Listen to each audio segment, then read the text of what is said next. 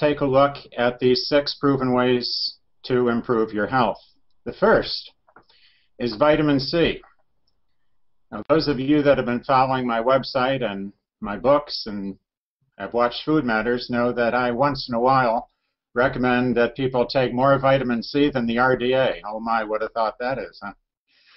The fact of the matter is the use of tens of thousands of milligrams of vitamin C per day has been well established.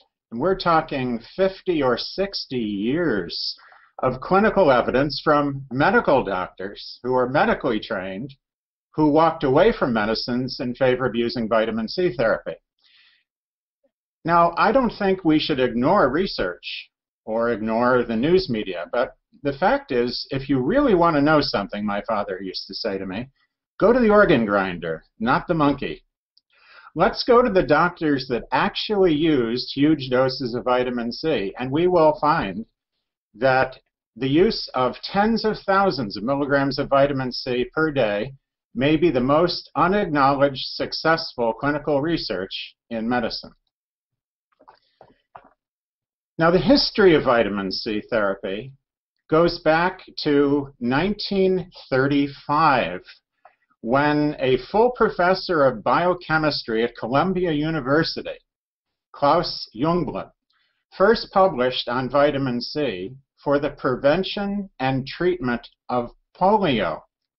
Now, this is especially interesting because in 1935, the United States has, had a president in office, Franklin Delano Roosevelt, who had polio. He had been uh, afflicted earlier and he was uh, paralyzed. He had to walk with assistance and with a brace and canes.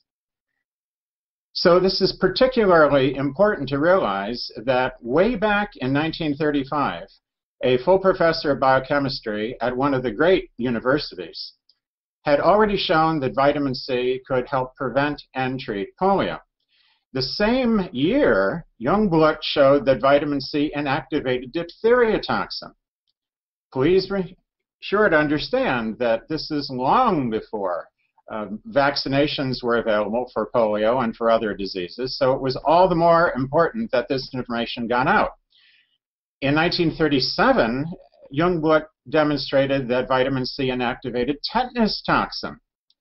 And then, while the Second World War was still going on, Frederick Robert Klenner, a United States medical doctor in North Carolina, Duke University Medical School graduate, and a board certified chest specialist, actually demonstrated that Jungeblut was right, and Klenner used higher doses of vitamin C, much higher than Jungeblut.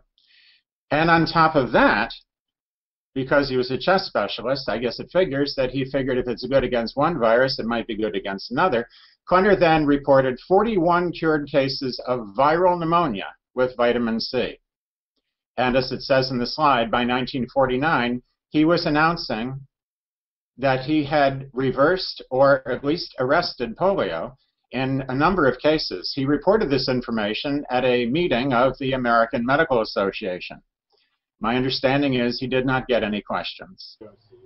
Now, as soon as we link things like kidney stones, polio, diphtheria, tetanus, uh, cardiovascular disease all together with one vitamin, it starts to sound a little strange. And this is where people have some difficulty. Vitamin C is good for too many things. That's a public relations problem. It's not a scientific problem. Almost any doctor will tell you that there's a lot of uses for antibiotics. Almost any doctor will tell you that there's quite a few uses for prednisone. It's also true that there's quite a few uses for vitamin C if you give high enough doses.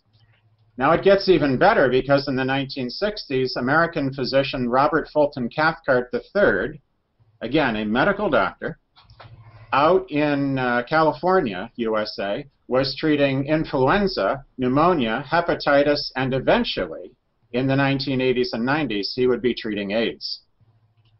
What could be a more powerful demonstration of an antiviral than that? In the 1970s, Ewan Cameron, a medical doctor in Scotland, and Hugh Riordan, an American medical doctor in Kansas, had successfully used huge doses of vitamin C against cancer. And this is an intravenous application and also oral application of vitamin C. We've just said a mouthful, and we're going to talk more about vitamin C later on because I know you have a lot of questions. But here's the key point. Real doctors, doctors of medicine, highly qualified physicians, have been using vitamin C to cure disease since 1935. If your doctor is not yet using vitamin C, you've got to ask yourself, why is that?